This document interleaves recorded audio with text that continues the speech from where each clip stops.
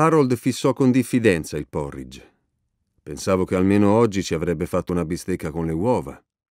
Crepuscolo è un affresco, insomma, di questo paese, Holt, eh, con eh, vari personaggi che si muovono, varie umanità che si muovono e poi convergono e si iniziano ad intrecciare, insomma. I punti di forza di questo autore sono molti, nel senso che mentre lo si legge c'hai da una parte una malinconia enorme e quindi stai all'interno della fattoria dei due anziani, stai all'interno della roulotte di questi due ragazzini, stai proprio vicino a loro, non so come dire, e questo senso di vicinanza mentre lo si legge fa sì che istantaneamente si crea un'empatia enorme e insieme c'è anche una leggerezza. Le sue descrizioni sia degli anziani che degli ragazzini te li porti a casa, ti viene da occupartene tu. Eh, instaura subito un sistema di compassione con questi personaggi per cui tu te ne innamori follemente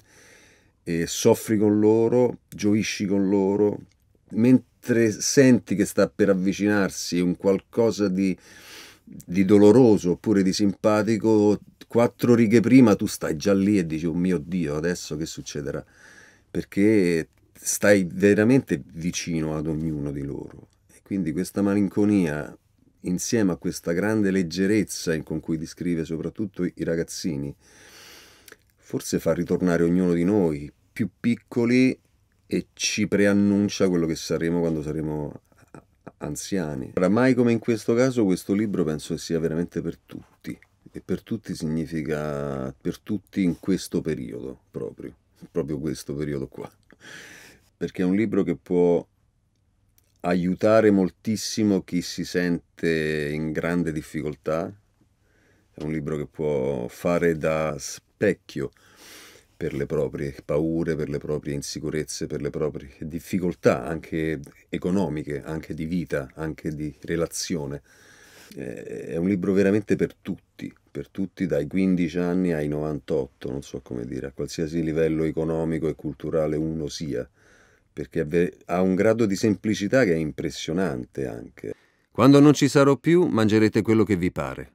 So che lo fareste comunque. Perché mette in moto veramente il meccanismo della compassione, che nell'immaginario collettivo è un sentimento noioso, è un sentimento no, che ha a che vedere con qualcosa di negativo.